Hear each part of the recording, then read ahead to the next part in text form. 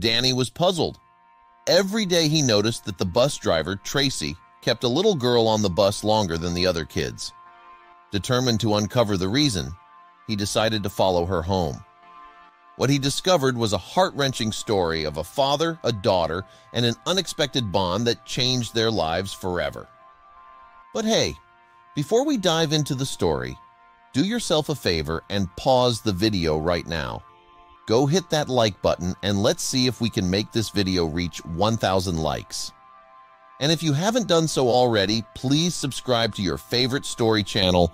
Also make sure to ring the notification bell so you never miss out on the latest and weirdest stories. Trust us, you won't want to miss what's coming your way.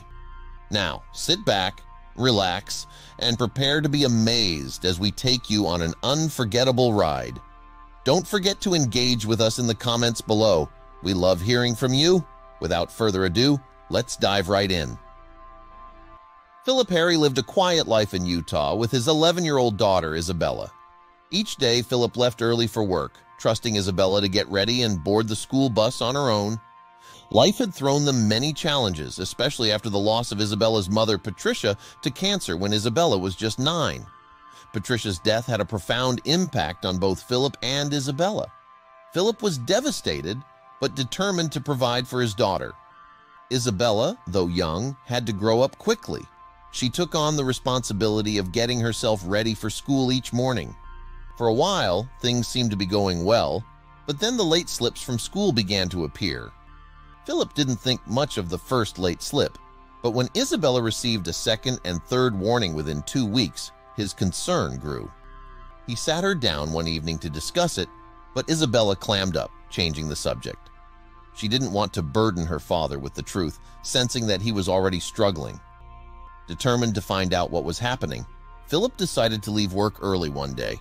He parked near the school and watched as Isabella got on the bus right on time. He followed the bus all the way home, noticing that while other children were dropped off quickly, Isabella remained on the bus until the very end. His suspicion deepened, prompting him to confront Isabella once again. That evening, Philip gently questioned his daughter about the bus driver. Isabella's eyes widened with surprise, and she finally opened up. She explained that the bus driver, Tracy, had been keeping her on the bus because of her hair. After Patricia's death, Isabella's long hair had become difficult to manage. Philip, despite his best efforts, struggled to help. He even resorted to shaving Isabella's hair once, which left her angry and feeling like a boy. Philip was aware of the problem but didn't know how to solve it. He had tried cutting her hair shorter to make it easier to manage, but it quickly became matted and unkempt again. This was when Tracy stepped in. Tracy Dean, the bus driver, loved children and had noticed Isabella's struggle with her hair. She decided to help. Tracy would keep Isabella on the bus after all the other kids had left and take out a hairstyling kit from her bag. She would spend a few minutes each morning untangling and braiding Isabella's hair, turning a chaotic mess into neat French braids. It took a week of these morning sessions for Tracy to fully untangle Isabella's hair. During this time, Tracy and Isabella formed a bond. Tracy, a cancer survivor herself, shared her story with Isabella. She empathized deeply with the young girl, having faced similar struggles. Tracy's kindness extended beyond just hairstyling. She taught Isabella how to care for her hair, boosting her confidence.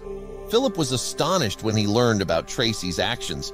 At first, Isabella didn't want to tell him, fearing he might feel inadequate, but Philip was only grateful. He noticed a transformation in his daughter. Isabella no longer dreaded going to school. Her confidence soared, and she began to thrive academically and socially. Word of Tracy's kindness spread, and the media soon caught wind of the story.